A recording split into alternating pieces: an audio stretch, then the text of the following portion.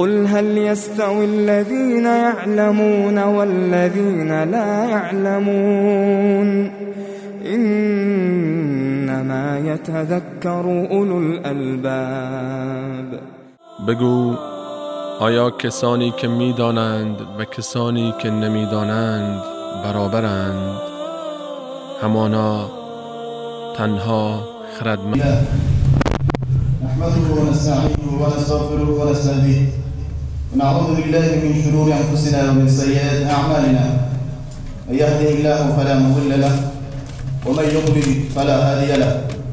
وأشهد أن لا إله إلا الله وحده لا شريك له وأشهد أن محمدا عبده ورسوله وصفيه وخليله. أرسله الله بالهدى ودين الحق ليظهره على الدين كله. وبلغ الرسالة وأدى الأمانة ونصح الأمة وكشف الغمة وجاهد في الله حق جهاده لتكون كلمة الله هي العليا.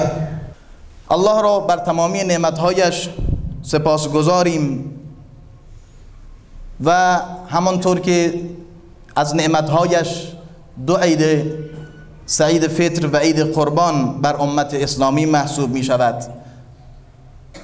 دو عید را خداوند برای امت مسلمان قرار داد. تا در آن شادی و سرور و فرح داشته باشند تا در این دو عید مسلمان ها شادی و سرور به قلب آنها وارد شود و شادمان و مسرور باشند در سایه شریعت و سایه دین خداوند البته. عن عبد الله بن قرظ رضي الله عنه عن النبي صلى الله عليه وسلم قال إن أعظم الأيام عند الله يوم النحر ثم يوم القر. بالاترین روزها و عظیمترین روزها نزد الله سبحانه و تعالی. روز عید قربان است روز قربانی است روز نحر است و سپس روز قر. و روز قر روزی است که بعد از روز قربان است و روز مستقر شدن در منا هست. باز در رابطه با فضیلت روز عید قربان حدیث دیگری است که میفرماید یوم الحج الاکبر یوم النحر.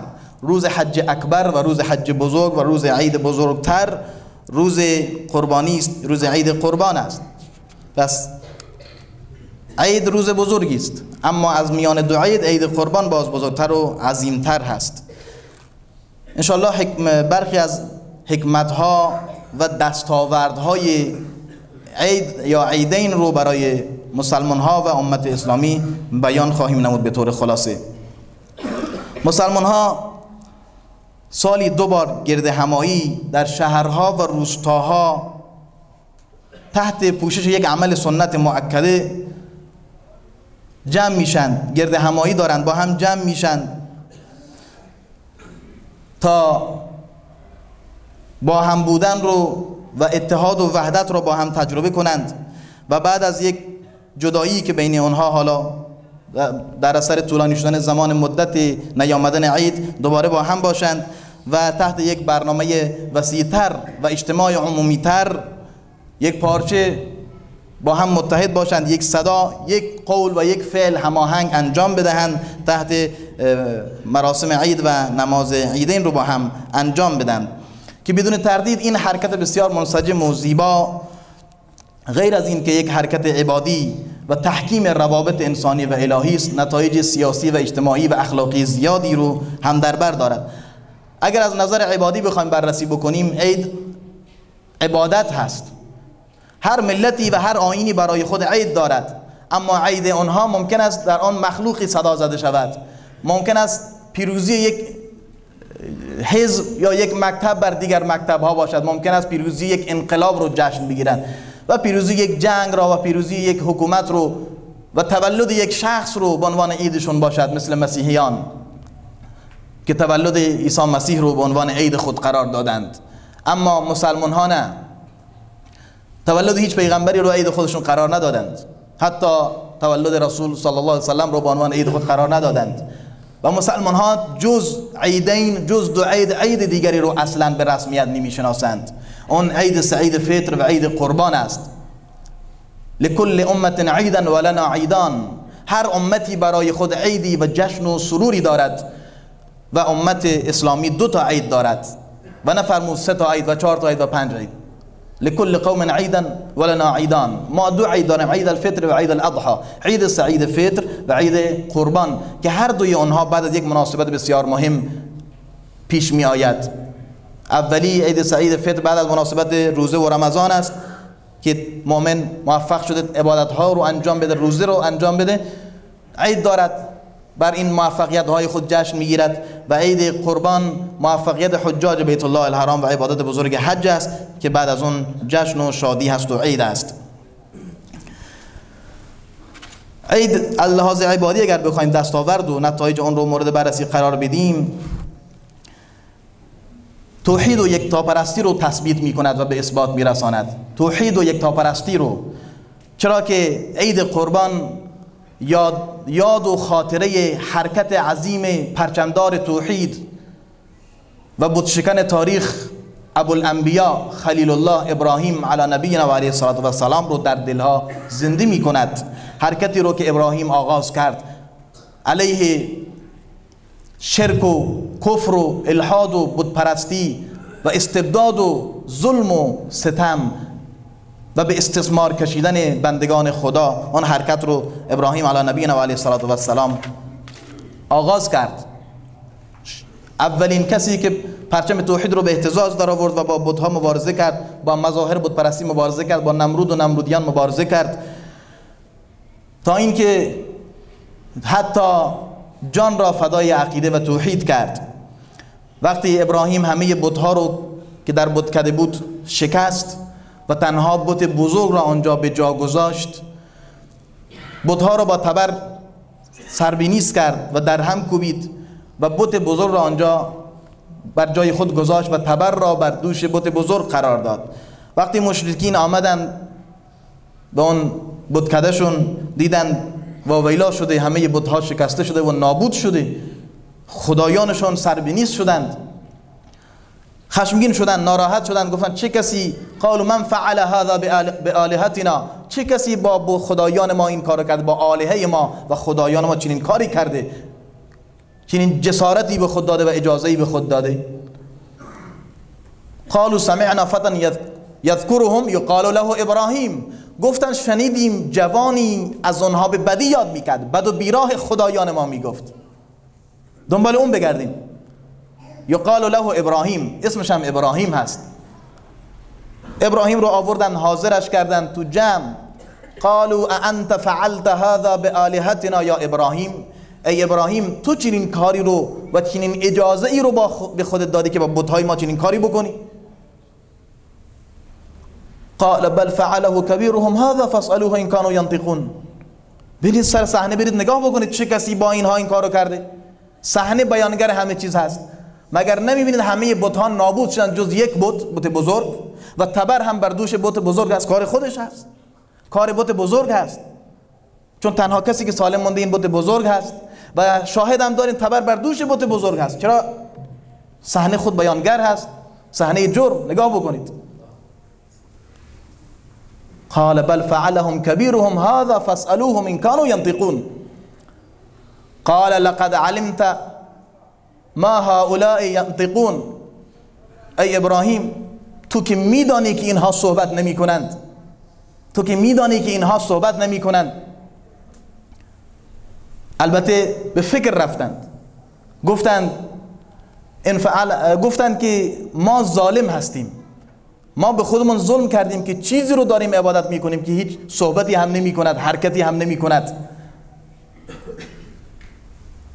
وقتی ابراهیم بهش گفتن که تو که میدانی که اینها صحبت نمی کند چه گفت؟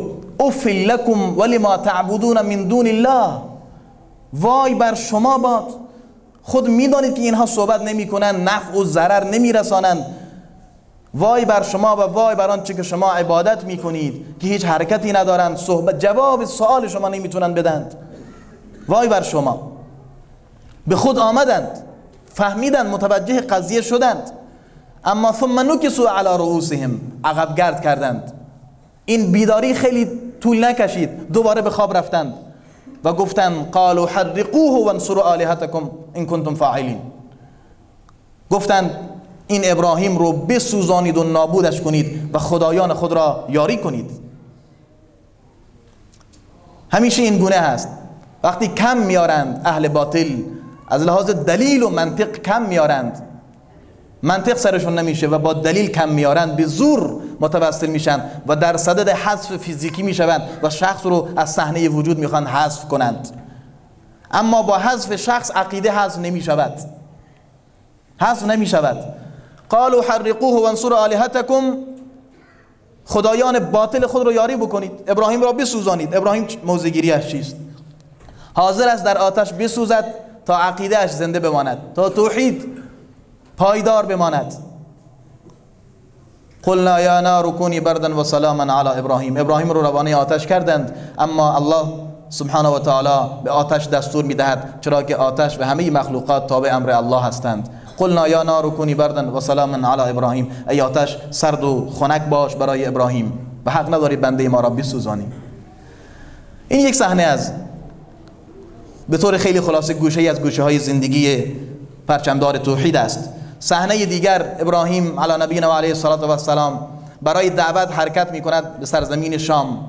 اما همسرش و فرزند خردسالش نوزادش رو نوزاد شیرخارش رو در سرزمینی بی آب و علفی که بعدا مکه شد تنها رها می کند در آن سرزمین.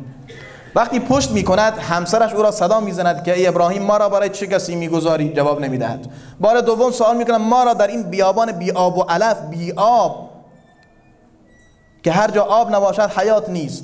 برای چه کسی می‌گذاری؟ جواب نمی دهد بار سوم می‌گوید آیا الله به تو دست داد چنین کاری بکنی؟ ابراهیم می‌گوید بله. می‌گوید پس برو که الله ما را ضایع نمی کند این یکی دیگر از صحنه های زندگی ابراهیم است. که قربانی می کند همسرش را و وطنش را در راه عقیده. هجرت می کند وطن را ترک می کند هر کسی وطنش را دوست دارد. همسر را در آن بیابان تنها رها می کند و این از اینجا درس توکل و اتکا به الله سبحانه و تعالی را باید گرفت. درس توکل. الله ما را ضایع نمی کند آنگونه که ضایع نکرد. در آن بحران تشنگی فرزندش اسماعیل و آن سرگردانی و حیرانی هاجر و حرس و ولعی که هاجر داشت برای پیدا کردن آب و سعی بین صفا و مروه که داشت و حجاجی که سعی بین صفا و مروه می‌کنند یادواره هاجر رو زنده می‌کنند و نیازشون به خداوند رو که خداوند جوابشون رو داد. چون توکل کردند خداوند به آنها جواب داد و چاه زمزم و آب زمزم رو برای آنها جوشاند. که برکتی شد و رحمتی شد برای همه جهانیان بعد از خودشون. صحنه دیگر به طور خلاصه صحنه قربانی کردن فرزند هست. او جان را قربانی کرد وطن و همسر را قربانی کرد و رها کرد. حال نوبت این رسیده است که فرزندش را پاره تنش را جگرگوشه اش را اصاره قلبش رو نور چشمش رو قربانی کند. آن هم با دست خودش. از جانب الله دستور پیدا کرده به عنوان یک امتحان. ان هذا لهو البلاء المبین. بلا و امتحان آشکار و واضحی بود برای ابراهیم که فرزندش را با دست خودش قربانی کند در راه عقیدهش در راه الله سبحانه و تعالی. یا بنی اینی ارا فی المنام انی اذبحك فانظر ماذا ترى قال یا ابت افعل ما تؤمر ستجدنی ان شاء الله من الصابرین. ای فرزندم در خواب دیدم به من وحی شده که تو را ذبح می‌کنم. چی می‌گویی؟ و نظرت چیست؟ جواب فرزند چیزی نیست جز این که افعل ما تؤمر ستجدنی ان شاء الله من الصابرین. درنگ نکن. آنچه که الله به تو دستور داده انجام بده که مرا از صبر کنندگان خواهی یافت. و این فرزند جواب فرزندی است که زیر سایه تربیت و دست پربرکت ابراهیم و هاجر تربیت یافت. پس از لحاظ عبادی این درس ها رو برای ما داره. درس قربانی کردن درس تضحیه درس شهامت درس شجاعت درس شهادت در راه عقیده درس مبارزه با ظالم و ستمگر. این درس ها رو می‌تونه عید قربان برای ما داشته باشه. و همچنین از لحاظ اجتماعی درس وحدت و یک پارچگی مسلمان ها روزی پنج وقت در مسجد محلشون جمع میشن تا اتحاد و یک پارچگی رو به نمایش بگذارن. روزی پنج بار در مسجد محلشون و هفته ای یک بار اجتماع عظیمتری تحت عنوان روز جمعه با هم دارند اینها نعمت است و برکت است اما ما از آن غافلیم. نمی‌دونیم چه نعمتی داریم. از اینها اگر بهره برداری بهتر و صحیح تر بشود خیلی فواید برای امت خواهد داشت. یعنی چه بهره های بهتر یعنی این که در نماز پنج وقت وقتی کسی حاضر می شود هر کس سرش تو لاک خودش نباشه. از بغل دستیش حال و احوالش را بپرسد مشکلاتش رو. اگر بغل دستیش در نماز صبح یا نماز ظهر یا عصر حاضر نبود سوال بکند که این همیشه در مسجد بود الان کجاست؟ پیداش نیست. شاید مریض باشد شاید مسافرت و شاید و شاید. این میشه.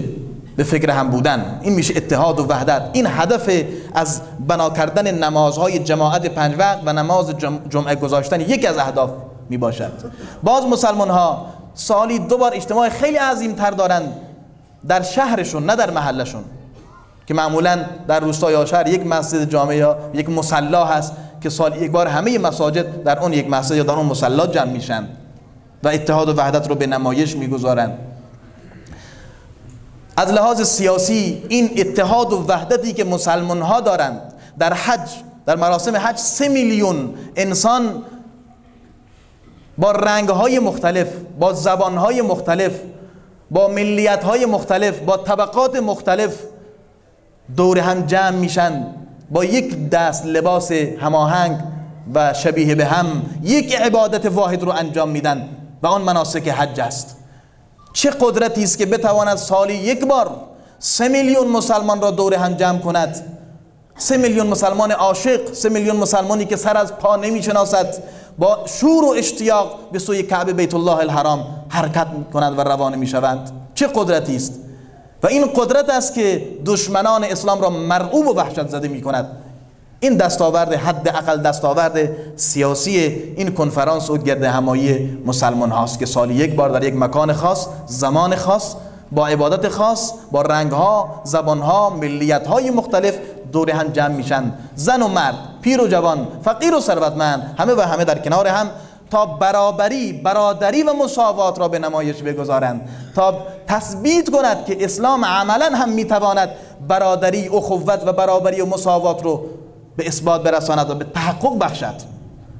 اسلام اگر صحبت از برادری می کند صحبت از این می کند که عرب بر عجم فرقی ندارد سفید بر سیاه هیچ فرقی ندارد ثروتمند بر فقیر هیچ فرقی ندارد جز به تقوا این را عملا تحقق بخشید در مراسم حج و در دیگر مراسم مذهبی و دینی اون رو تحقق میبخشد و به نمایش می‌گذارد عملا نه اینکه فقط در کتاب ها بنویسند.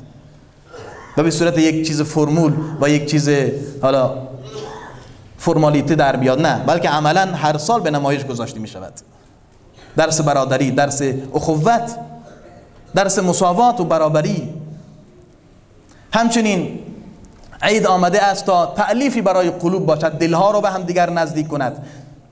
با به جا آوردن صله رحم و سر زدن به خیشاوندان قلبها را به همدیگر نزدیک و نزدیکتر بگرداند.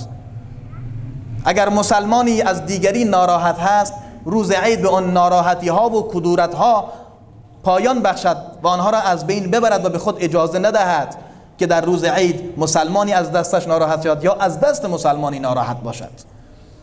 چنین چیزی نباشد. چرا که مسلمان مؤمن کسی است که هیچ غل و و هیچ حقد و کینه و حسدی نسبت به برادر مسلمان دیگر نداشته باشد.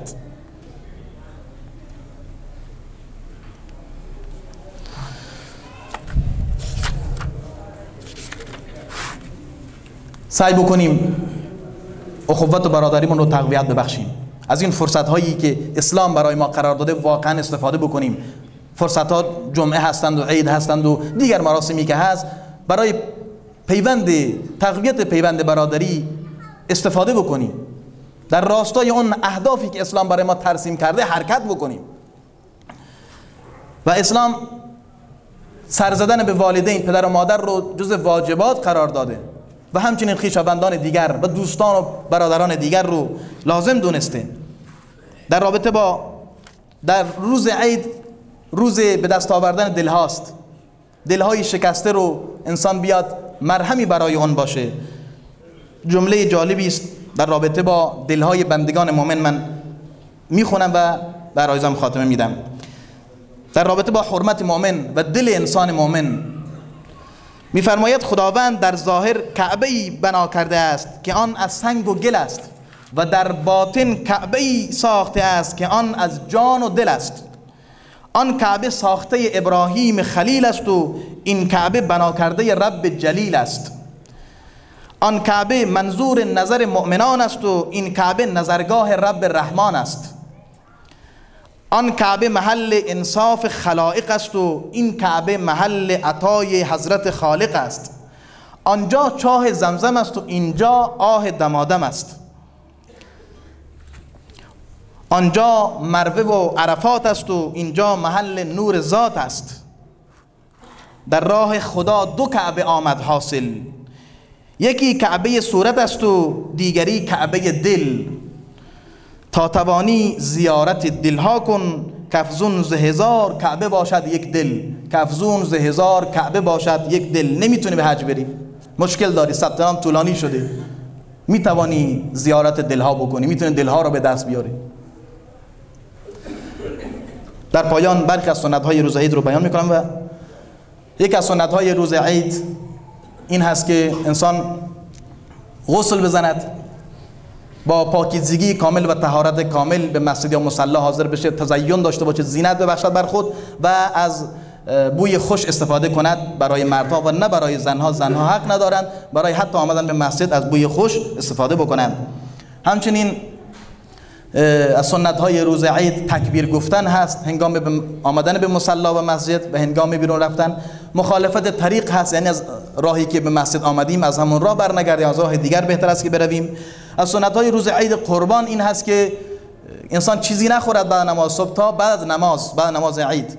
برخلاف عید سعید فطری که بهتر از سنت است چیزی بخورد قبل از نماز. اما عید قربان چیزی نمی‌خورد تا هنگام نماز عید و هنگام قربانی.